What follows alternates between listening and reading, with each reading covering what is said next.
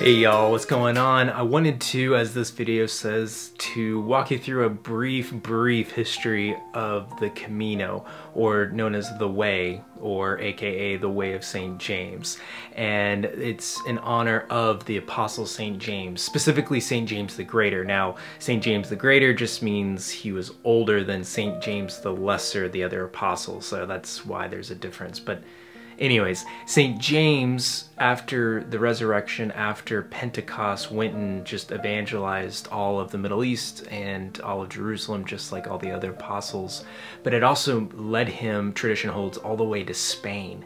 And he evangelized there, converted many people, ended up coming back to the Holy Land where he died for his faith. He was a martyr.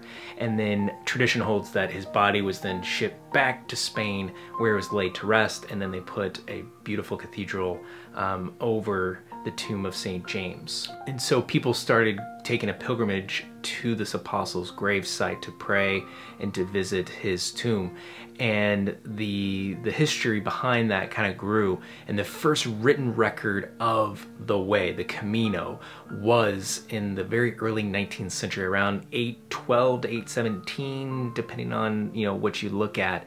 But again, this is that's the first written record. This has been going on though even before that. So you can easily say this has been going on for 12 to 1300 years, making this one of, if not the oldest pilgrimage site in the world. And so with the rise of Christendom, especially up in France, the Camino became very popular into the 9th, 10th, 11th, and it kind of peaked into the 14th century. But then with war ravaging Europe, with the Protestant Reformation, with all sorts of things happening, it took a major dive. It never died. I mean, there were still always people every year walking the Camino.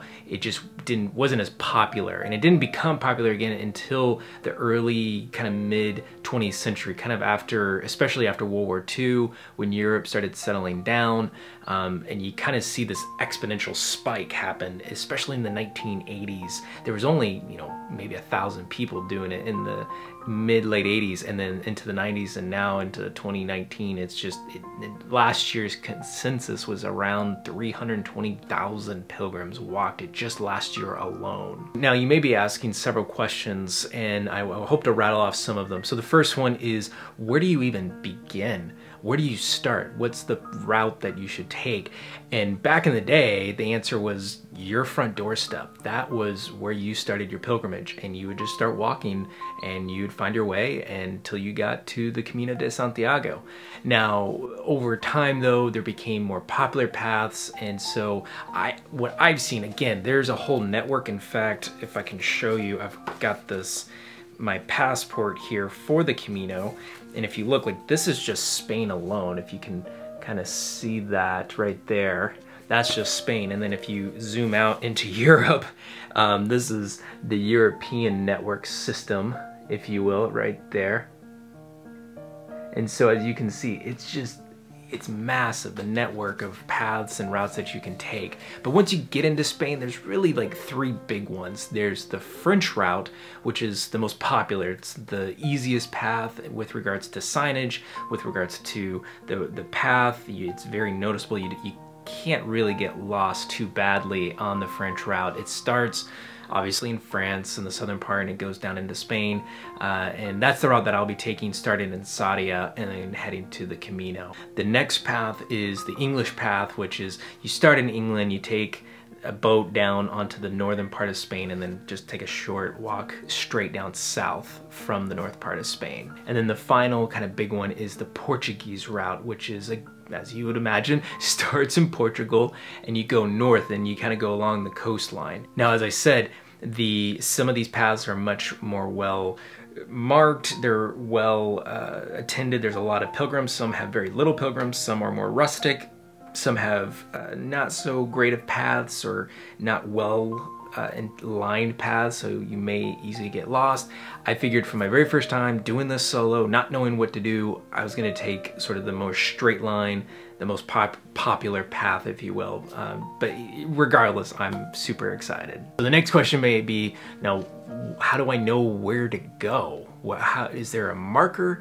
Yes, actually, there is a marker. It's a very famous marker along these paths. It's known as the seashell path. And as you'll see here, there's signage all throughout the this towns and, uh, and countryside of the seashell with an arrow pointing, or sometimes the seashell itself is pointing. Now you may be asking, what does the seashell have to do with it? Well, the tradition of the Camino is you would walk it all the way to Santiago, but you wouldn't stop there. You would go all the way to the coastline, the end of Spain, which was kind of known as the end of the world, uh, up, up on the Atlantic Ocean. And obviously being at a beach, there were seashells lined everywhere. And so people would grab a seashell, take it home with them as a sign of I've completed this pilgrimage and that became sort of the symbol for the Camino. Now today, people will use the seashell and they'll put it on their backpacks, they'll put it on themselves to represent themselves as, hey, I'm a pilgrim and not only am I a pilgrim, I'm a pilgrim of the Camino. And that way it's just kind of an ID, a badge, if you will. You may be asking, what's the minimum or the maximum that you need to walk in order to do the Camino? Now, as far as a minimum, if you're walking it, it's 100 kilometers. If you're biking it, it would be 200 kilometers. And it doesn't matter however long it takes you to do it, it just has to be a total of 100 kilometers. The maximum, there is no maximum. You could just start wherever you want. If you want to do several hundred, I know people will go upwards of 800 to 1,000 kilometers to walk it, and they'll take months out of their lives to walk the Camino. Unfortunately, I don't have that much time. I have a week, so I'm starting at Sarria and uh, going for just a little over 100 kilometers. The next obvious question is, okay, but then how do they know that you actually walked the Camino? Like, how will they know that you did the Camino and, and to show validity and credential? Well, that's what this comes in. Hang on. That comes in. This is the Credencial de Pellegrino still working on my Spanish. Uh, this is the credentials of the pilgrim. This is the Camino passport, if you will. So this is my real passport, my US passport, but this is my pilgrim passport. So these two are some of the most important documents to carry.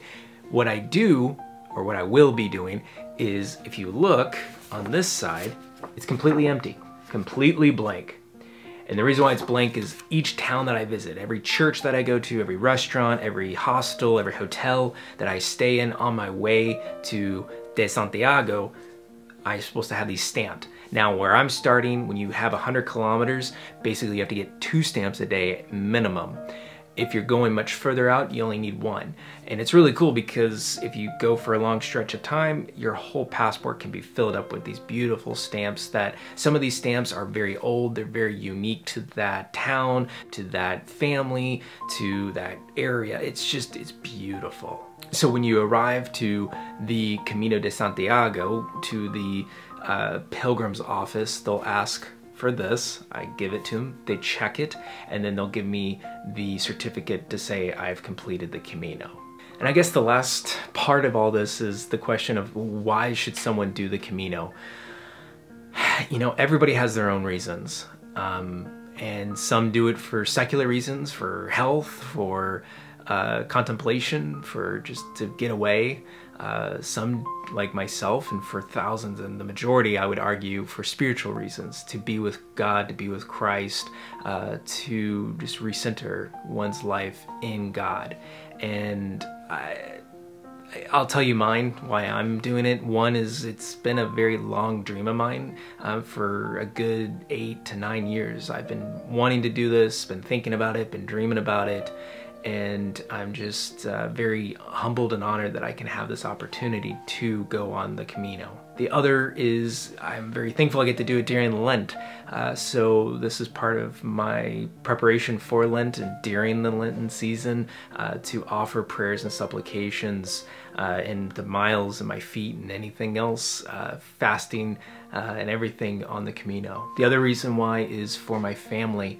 I'm praying, offering this up for my wife, for my children, the ones that are in heaven, the ones that are here, and the one that we're expecting in September.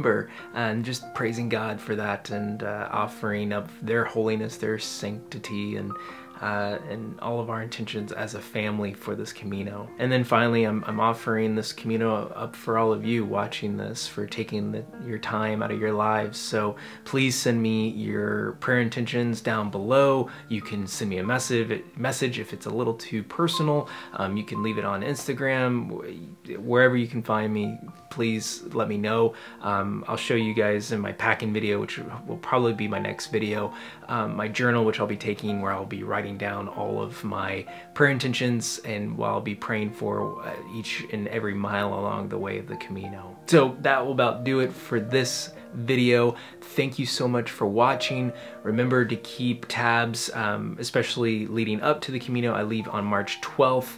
Um, so I'll be doing another video on probably on Wednesday, Ash Wednesday, maybe Thursday, and then definitely uh, one more before I head out. So you won't want to miss any. I will try and upload while I'm there. No promises on that, but uh, definitely stay subscribed if you want to see videos uh, from the Camino and I will see y'all in the next one.